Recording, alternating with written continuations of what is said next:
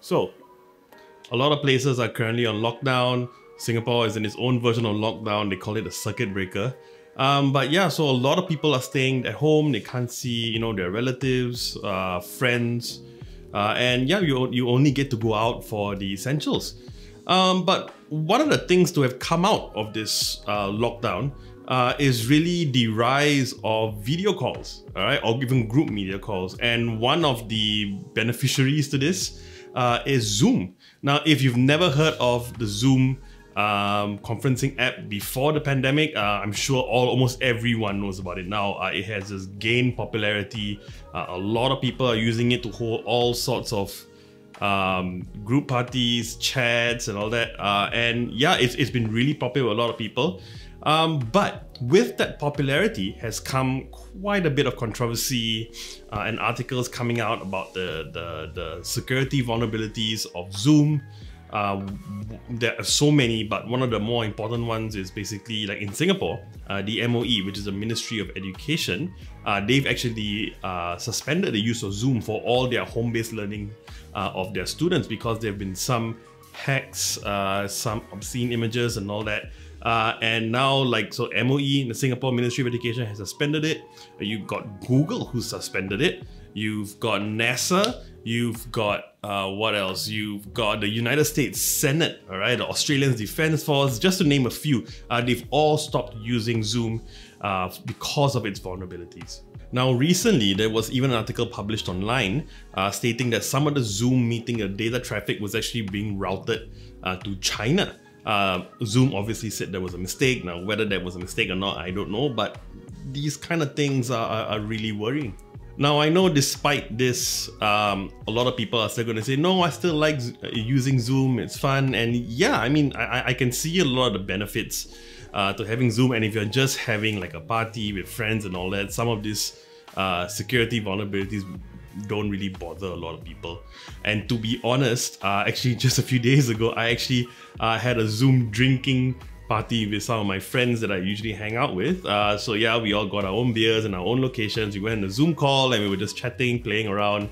Uh, and it was really, really fun. I mean, there are some features there like having a virtual background.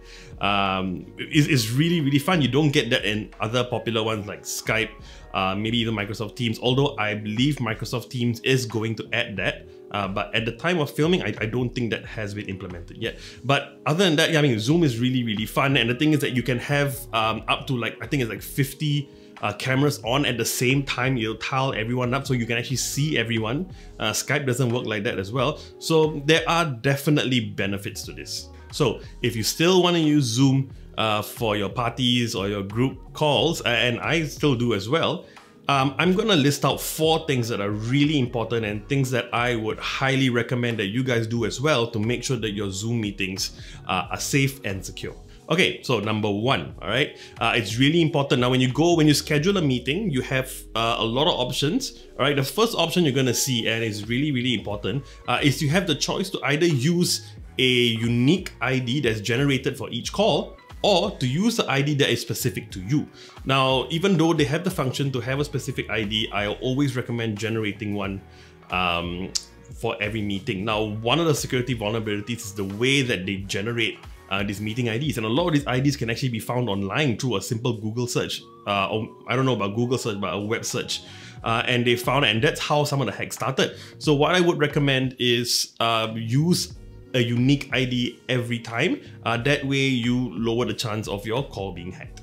Okay, number two. Now, when you go to the advanced settings, um, when you schedule a meeting, you have a, a, box next to the line that says enable waiting room. Now, I also highly recommend uh, enabling the waiting room. So what the waiting room does is anybody who joins the call, uh, apart from the host, will actually go into sort of like a lobby or a waiting room and the host has to let the person in.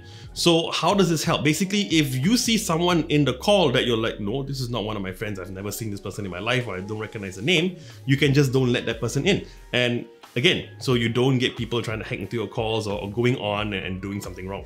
Okay, number three, now you can actually lock your meeting or your party uh, once you know that everyone is in. So for example, if you know that you invited 10 people and 10 people are already in the call, all you have to do is lock the meeting and if you lock the meeting, no one can join in, no one can hack into your meeting, uh, and it makes things a lot better.